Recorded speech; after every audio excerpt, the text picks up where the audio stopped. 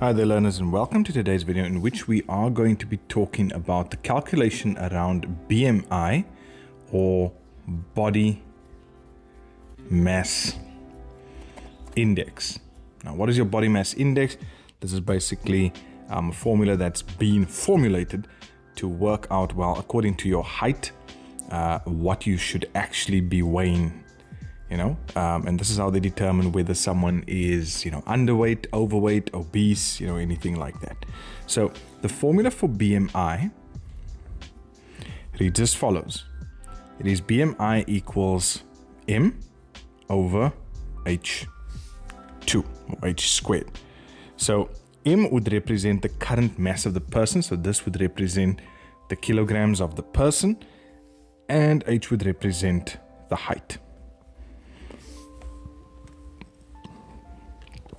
So if we have someone who is 60 kilograms in weight and has a height of 1.65 meters, according to BMI, what would they actually be? So let's use our formula. It would be 60 over 1.65 and we would square that. So that would be 60 over 2,72 and that would then give me a score of 22 so what does that now actually mean? Well according to the body mass index if you are if you score over 18.5 then you are underweight. If you score between 18 and 25 you are what they consider normal.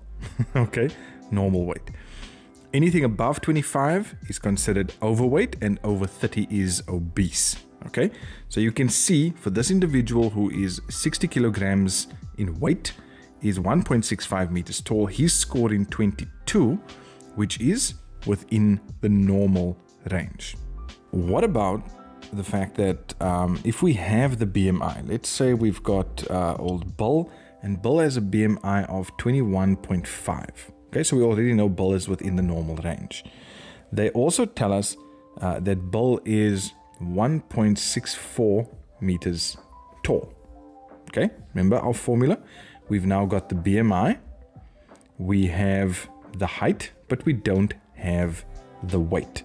So usually if we have these two over here, you know, your kilograms, your weight and your height, we just divide the two, you know, work that out and we'll get our BMI. So how do we do this the other way? Okay, so the, one of the first things I'm going to do is um, just put the m in here. One of the first things I'm going to do is just work out the h squared properly. So it'd be 21.5 and that would be equal to m over and it's 2.69 okay so I have that in place I just need now uh, one more calculation in order to work out the weight if you'll remember in previous videos when we wanted to move something out of the way, we, if we want to take this height and we want to move it over to the other side, what did we have to do? We had to multiply, because it's dividing, we had to multiply by 2.69. That'll cancel that out.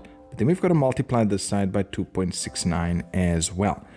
And in that case, we'll then end up with 57.83. Sorry if I round it off. 0.84 is what his weight will be if I needed to work this out again and just, you know, make sure that my answer is correct, I'm going to take this, 57.84, put it in over there. I'm going to divide that by my height squared, and that should give me my BMI. And this is how, you know, you can go through this, um, get your answer, and also work backwards to make sure that your answer in, um, you know, getting the BMI is correct.